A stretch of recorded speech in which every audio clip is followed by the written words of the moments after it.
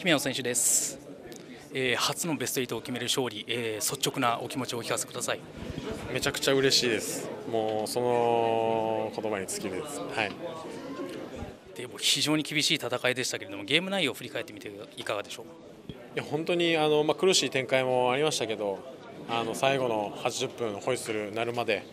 一人一人が本当にハードワークしてくれたっていうところが本当に勝因やと思いますしそういったこう仲間を本当に誇りに思いますで試合途中で相手選手ともみ合うシーンもありましたけれどもあの時はもうなんか戦う感情が表に出てしまったっていうようなあの感じだったでしょうか？まあ、お互い熱くなってしまうっていうのは、まあ、ラグビーによくあるので、まああのまあ、ユウさん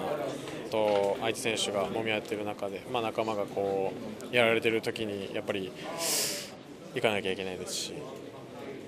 まあ、そういった意味で、まあ、行きましたけど、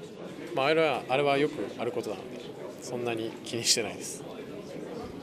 で、えー、次に立ちはだかるのは南アフリカですけれども、抱負をお聞かせください。